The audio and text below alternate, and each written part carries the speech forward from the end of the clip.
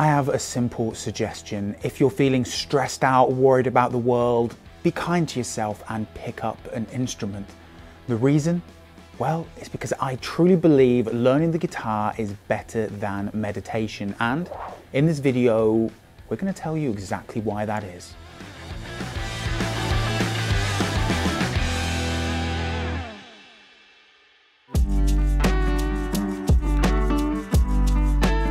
Played guitar for years. As a kid, I learned classical, and then as a teenager, I got into sick old electric stuff. But then came the gap.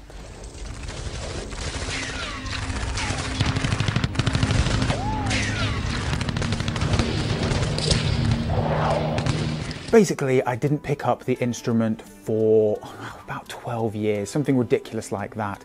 But when the pandemic hit, and as I'm sure you've found yourself, one of the positives of the pandemic, probably the only positives, is there's a lot more time. I decided to get back into guitar again. And what surprised me is not only was it fun, but it also felt good in my brain and relaxing. Uh, and it turns out I wasn't the only one who has that experience playing instruments. Long story short, I just had no idea how good learning an instrument was for my noggin. It feels relaxing, like my issues are melting away and my brain is a little oasis of ocean calm. But really, it's the combination of the mindfulness of actually playing with this soft glow of creativity that effectively just feels great, man. Of course, play whatever instrument you want or have a history with or draws you. That's kind of the joy of music in itself. But I do think the guitar is suitable for the largest number of people, and that's for three main reasons, really. The first is its comparative cheapness. You can pick up a guitar for not that much cash. Secondly, a wealth of resources about the instruments from apps to websites. You can find a huge amount of guiding material. And third, and most importantly of all, it's really easy just to sit and like play it on the sofa. Um, but whatever you do, just don't get a ukulele. This is a ukulele free zone, and you know what? You're better than that. Well, that depends on you really. I selected an acoustic, well, electroacoustic technically, but an acoustic guitar because it just means less stuff overall. But you could just as easily learn a noodle away on an electric. So I've been using this lovely Epiphone Hummingbird. You can see it's got this cherry sunburst coloring and a really sort of country music aesthetic to it. And it's just a joy to play.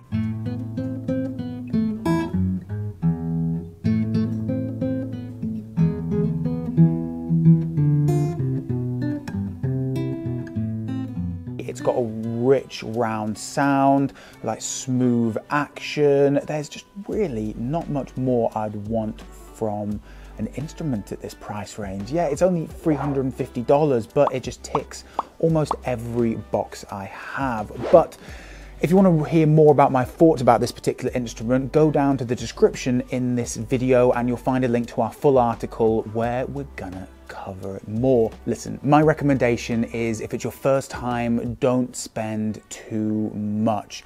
Just get a guitar that's reasonably priced, and if you want to upgrade later, you can sell it on. Like easy as that. But what I would say is go to your local independent guitar shop. There'll be all sorts of experts and fantastic people there ready to help you out on your journey. And even better than that, you'll be supporting a local independent business during these troubling times. My God, I'm such a good guy. What a fantastic political statement that was. But you know, go do it. This probably they could use your help. A quick note here, I am not a guitar expert or in fact even very good at the guitar whatsoever. I used to be enveloped in this world but nowadays not so much. I'm just happy in my own little bubble. So if you're looking for genuine technical or practical advice, well my friend this isn't the place for it. But you are in luck because there is a glut of information out there from apps to websites to private tutors and YouTube. Really, the world is your oyster. But where I think I can help a bit is with the idea we've been talking about of musical mindfulness. So I think with that, it's about dropping these pretensions of whatever that is of success, of being good or being bad. It's simply, in my mind, about being, about enjoying your time with the instrument and your focus. And if we're talking that, well, then I do actually have some tips for you in order to relax and enjoy yourself in a non pressured way. Honestly, start with scales. They're an easy way to lose yourself, and you just like are doing a pattern with your fingers, and you can do it while you're watching your favorite Netflix show.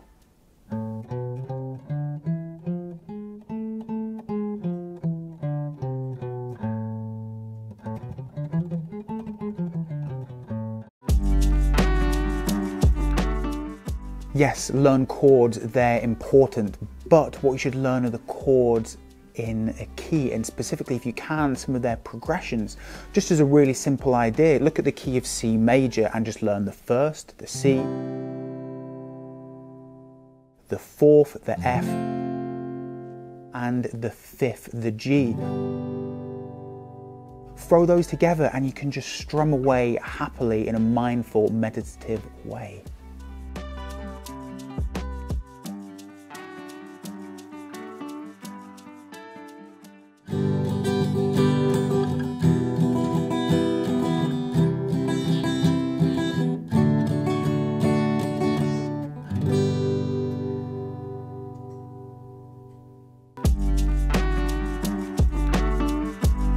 Basically, if you're wanting to clear your mind, a few minutes of attentive focus is fantastic. You drop everything in the world and you just concentrate on doing one task well. But where I've actually found some of the most joy and happiness and relaxation has been that sort of passive practicing where I'm just sitting around noodling. And those are the moments, it's that balance between the two of them that are going to really help your mental journey. I'm not trying to sell you anything, nor am I saying anything revolutionary here. I guess my only point is to maybe give you a little push if it's something you've been thinking about anyway. All I can say from my experience is picking up a guitar again has been magnificent for my mental health. It's been relaxing, I felt some of my troubles slipping away, and I hope more than anything that maybe you could get the same experience too. Playing an instrument is calming, it's relaxing, and it is better than meditation. I'm sorry, monks out there, maybe you should form a sick band instead of trying to, you know, achieve transcendence. Um, anyway, if you like this video, then why don't you slam that subscribe button below? And even better for me personally is if you look at the top comment, there should be a link to sign up to our very own newsletter. So do that, but more than anything, have a wonderful day, you beautiful people, and see you soon.